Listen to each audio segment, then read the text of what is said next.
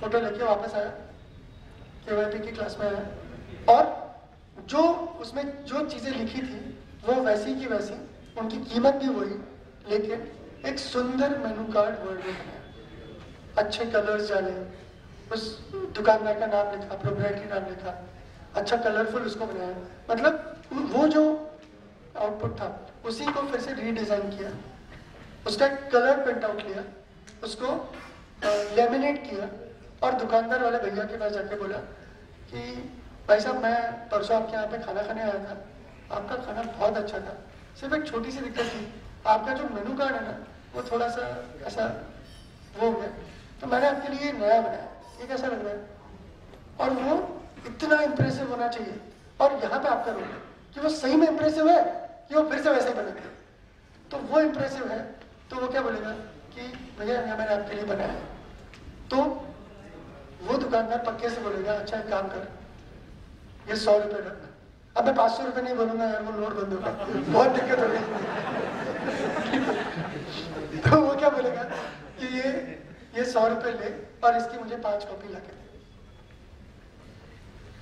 ऐसा हमारे यहाँ पे हुआ था और एक लेडी थी, वो आई।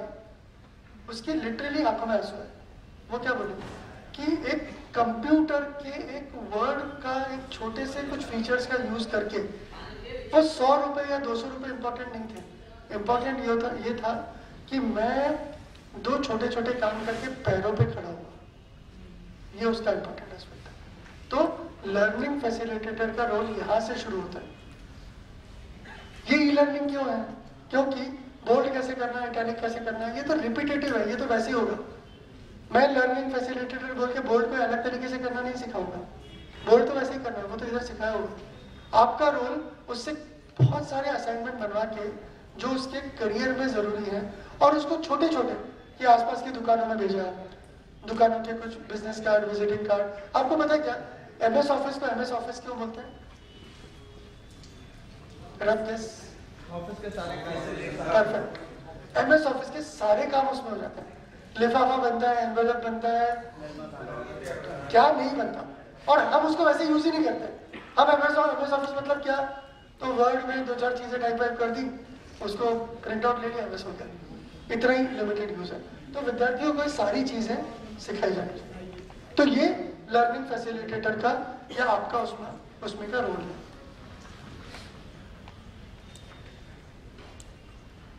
कुछ चीज़ें अब इसी कंटेंट में आ, मैं आपको एक आपका भी छोटा सा एक वो हो जाएगा कि कुछ चीज़ें क्लासरूम में सिखानी होती हैं जो टफ होती है तो उसके लिए हमने छोटे छोटे एनिमेशन बनाए। वो कैसे? और ये सब क्लासरूम का कंटेंट है।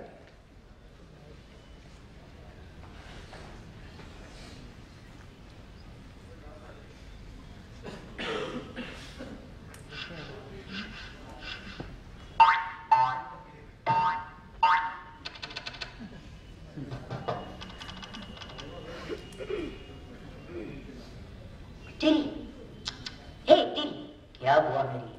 आज इस कंप्यूटर में कुछ हुआ तो नहीं है? देखो, रोज की तरह ये चल नहीं रहा है। लगता है सीट को ये पता चल गया है कि हम उसका कंप्यूटर इस्तेमाल कर रहे हैं। इसलिए उसने कंप्यूटर लॉक कर दिया है। यार मेरी, कंप्यूटर को बुक करो ना। ओह, मुझे पता है आप वो क्या कर रहा होगा।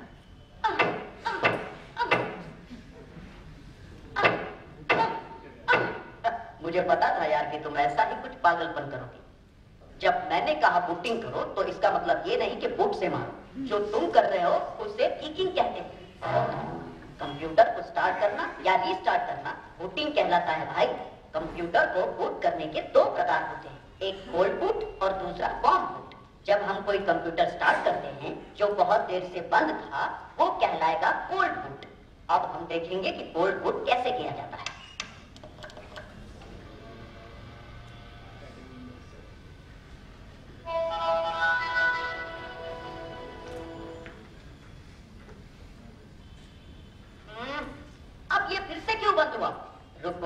मुझे पता है कि अब क्या करना है। विंडोज़ लोड होने की प्रक्रिया में किसी भी प्रकार की समस्या आती है, तब हमें कंप्यूटर को रिस्टार्ट करना चाहिए। हमारे सीपीओ के पावर बटन को दबा ये कहलाएगा वॉम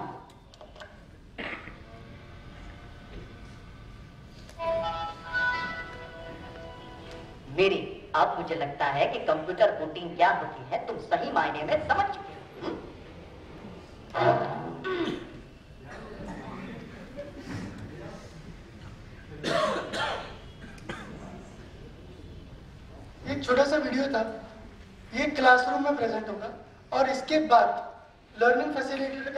रोल क्या क्या अभी सबको समझ में आया कि वॉर्म बूट क्या होता है?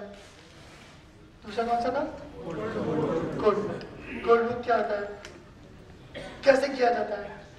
और सर ने बहुत अच्छा आइडिया दिया था। और सॉफ्ट बूट करके देख सकते हैं। तो लर्निंग फैसिलिटेटर ने इस पर टाइम नहीं गवाना है कि वो क्या होगा क्या होता है वो दिया हुआ और वो कॉमनली प्रेजेंट होगा। फिर स्टूडेंट से पूछा जाएगा कि मज़ा आया क्या सबको? सबको समझ में आया? किसी को नहीं आया होगा तो फिर से प्ले कीजिए।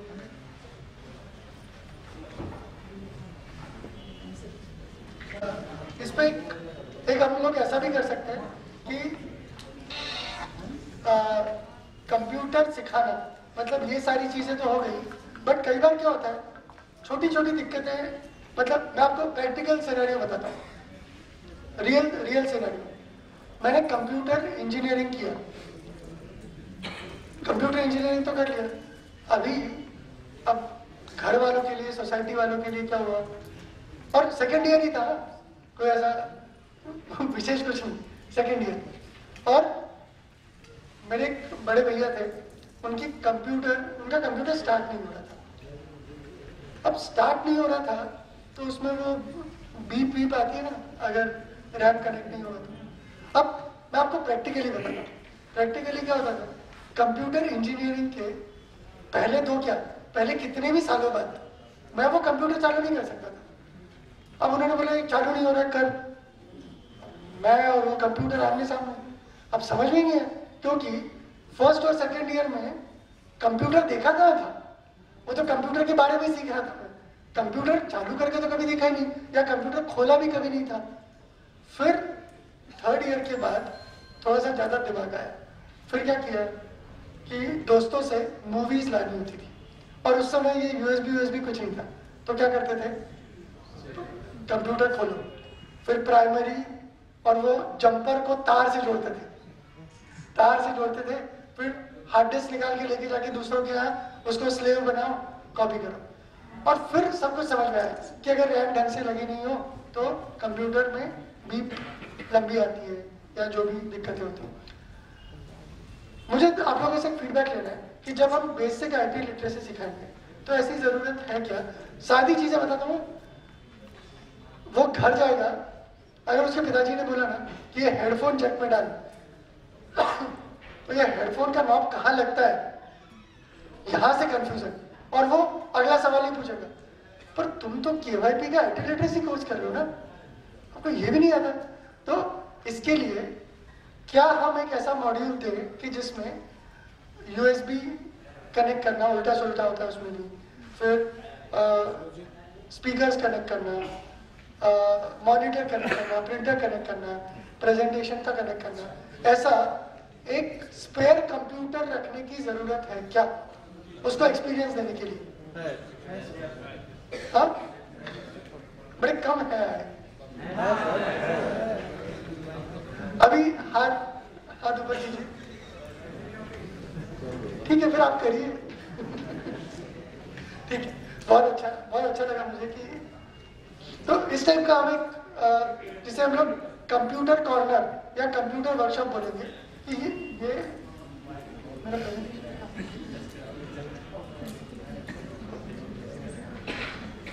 तो इस टाइप के एक्सपीरियंसेस हम लोग विद्यार्थियों को देंगे एक और वीडियो था स्टेप करते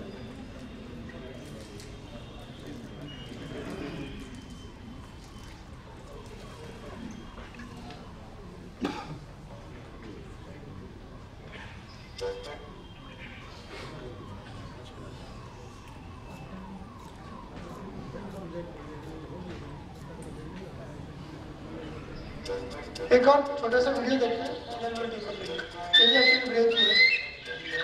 अभी डिजिटल कैमरा ये टिपिकल आईटी लिटरेसी में आता नहीं लेकिन स्टूडेंट शुड नो कि डिजिटल कैमरा क्या है।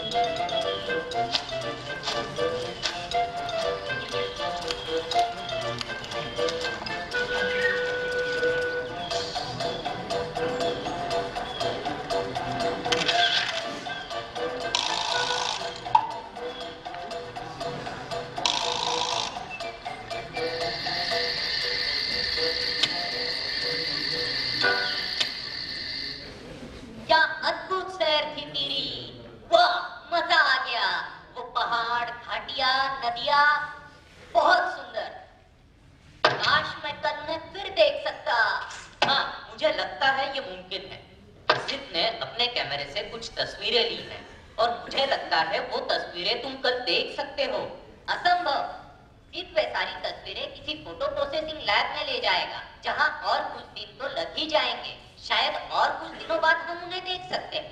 ओह लगता है जैसे तुम 10-15 साल पीछे कहीं फंस गए हो। ठीक है, वैसे भी मैं तुम्हें कल कुछ दिखाऊँगा। तुम्हारा 21वीं सदी में स्वागत है मेरी। ये है डिजिटल कैमरा और मुझे लगता है सिद्ध ने अपने कंप्यूटर पर उसकी सारी तस्वीरें कल रात में ही स्थानांतरित की होगी।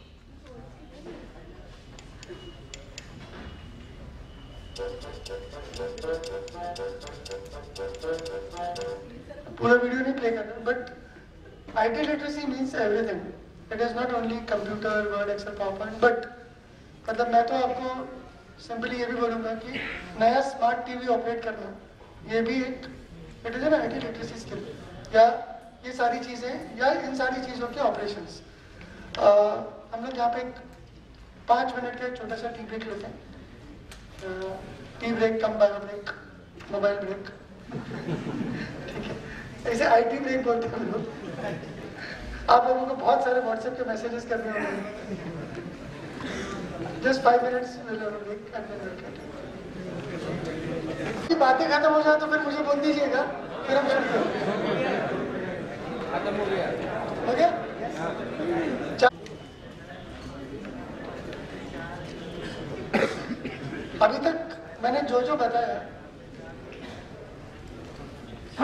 उसमें अगर कुछ सवाल होंगे आपके तो सेशन के एंड में हम लोग एक पूरा क्वेश्चन आंसर सेशन लेंगे और मेरे सेशन पे मैं एक सरप्राइज़ टेस्ट भी ले सकता हूँ। कल परसों आपकी एक एग्ज़ाम हुई थी, वो बहुत ही सिंपल थी। पासिंग से मुझे समझ में आया अभी ठीक है अ, और लैब सेशन में क्या होगा? तो अभी बहुत लोगों ने ऐसे सवाल पूछे कि हम लोग एम एस ऑफ़िस 2013 सिखा रहे हैं तो सारे क्लाइंट मशीन्स पे ऑफ़िस 13 होना ज़रूरी है। उसका रीजन ये है कि हमारी ये जो टेक्नोलॉजी है, ये सिर्फ़ सिमुलेशंस पे काम नहीं करेगी, इसमें एक्चुअली वर्ड एप्लीकेशन पे काम होगा। स्टूडेंट एक्चुअली आउटपुट बनाना सीखेगा। और वर्ड या एक्सेल या पावर पॉइंट मैं हमने आपको थोड़ा सा टेक्निकली बताता हूँ कि एपीआई आपको पता है क्या? एपीआई क्या होता है? एप्लीकेशन प्रोग्राम इंटरफेस इसका मतलब क्या होता है.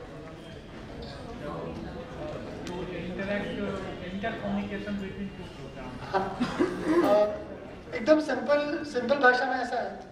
कि अभी आप लोग सब वर्ड यूज़ करते हैं सब एक्सेल यूज़ करते हैं सब लोग पावर पॉइंट यूज़ करते हैं ठीक है? अगर मैंने वर्ड में आपको सवाल पूछा कि अ, एक टेबल इंसर्ट कीजिए ठीक है?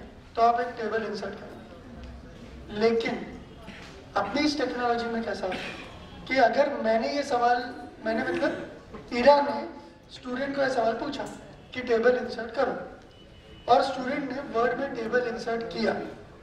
तो वर्ड ईरा को बताता है कि टेबल इंसर्ट किया कि नहीं किया।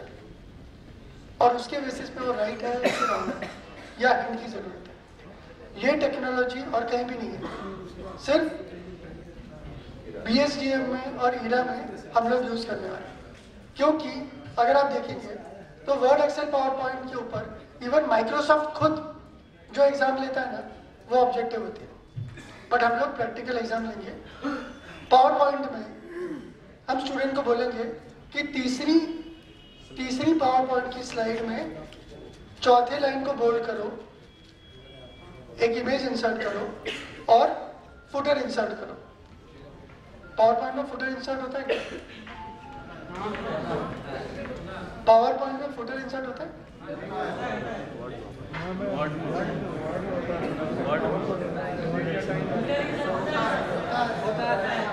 कैसे होता है?